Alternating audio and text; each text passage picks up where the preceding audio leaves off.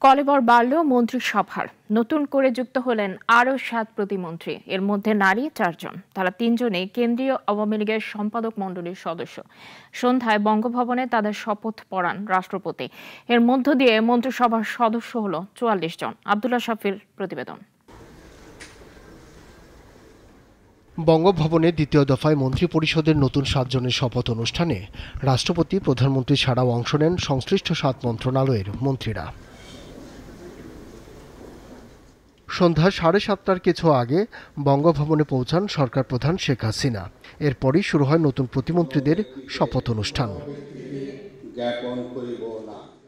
রাষ্ট্রপতি মোহাম্মদ শাহাবুদ্দিনের কাছে প্রতিমন্ত্রী হিসেবে শপথ পাঠ করেন তারা, পরে আবারও রাষ্ট্রীয় গোপনীয়তার শপথ পড়ানো হয় তাদের।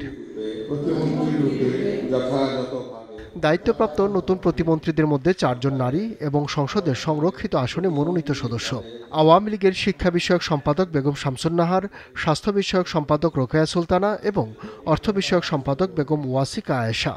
তারা তিনজনেই সম্পাদকীয় পদ অনুযায়ী শিক্ষা, স্বাস্থ্য ও অর্থ প্রতিমন্ত্রী হিসেবে নিজেদের দায়িত্ব পালন করবেন। আর নাহিদ ইজহার খান পেয়েছেন সংস্কৃতি প্রতিমন্ত্রীর দায়িত্ব। আর বাকি তিনজনের মধ্যে নওগাঁ দুইয়ের সংসদ সদস্য মোহাম্মদ শহীদুজ্জামান সরকার পরিকল্পনা রাজশাহী পাঁচের সংসদ সদস্য মোহাম্মদ আব্দুল ওয়াদুদ পল্লী উন্নয়ন ও সমবায় বিভাগ এবং নজরুল ইসলাম চৌধুরী শ্রম ও কর্মসংস্থান মন্ত্রণালয়ের প্রতিমন্ত্রীর দায়িত্ব পেয়েছেন। বঙ্গবন্ধু সবসময় লেবারদের সাধারণ মানুষের কল্যাণে কাজ করেছেন। আমরা লেবারের কল্যাণে কাজ করব। আমি বিশ্বমানের গুণগত মানের কাজ করে ওনার আস্থা ভরসা করে আমি সব কাজ সম্পন্ন করতে চাই। বিশ্বাস করি যে এটি যোগ্যতা বা অন্য কোনো দক্ষতার প্রশ্ন এর সঙ্গে জড়িত নেই। এর সঙ্গে শুধুই জড়িত আছে মাননীয় প্রধানমন্ত্রীর অনুগ্রহ। নেত্রী নির্দেশে আমাদের যা করতে বলবেন আমরা ঠিক তাই বলব। এর আগে এগারোই জানুয়ারি প্রধানমন্ত্রী এবং পঁচিশ জন মন্ত্রী ও এগারো জন প্রতিমন্ত্রী সহ সাঁত্রিশ জন শপথ নিয়েছিলেন।